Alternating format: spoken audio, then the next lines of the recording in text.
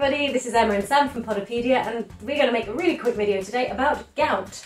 Yeah, gout is a really, really nasty problem. Um, basically, in the foot, it normally occurs around the big toe.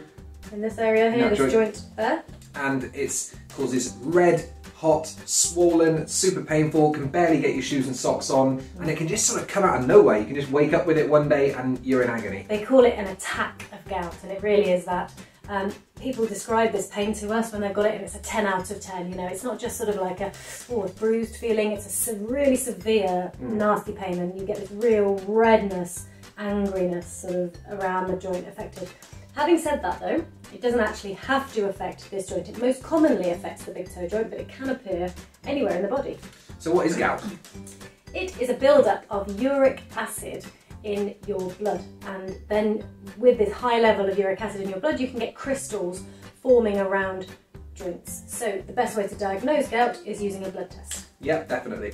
Clinical presentation is quite is sometimes for, for, a skilled clinician you can tell what it is when you see it mm-hmm. quite often. But yeah, blood test will show your urate levels. If you've known to have gout as well, then you should get your urate levels checked occasionally just to keep on top of them. And you'll probably be on a medication from your doctor. Um, allopurinol is a common one used to control the, the urate buildup in, in your blood.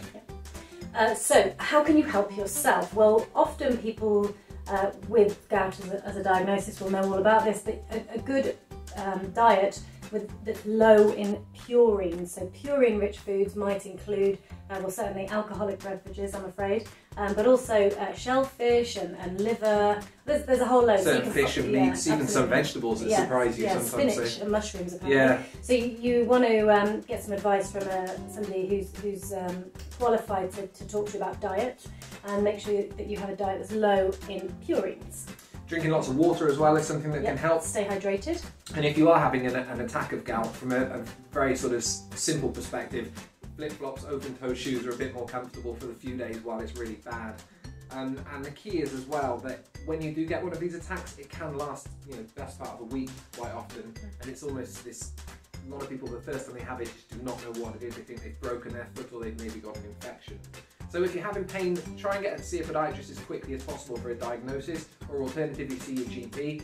If you're someone who's prone to gout, make sure you keep checking your diet, keep checking your urate levels to try and stop this becoming a regularly occurring problem.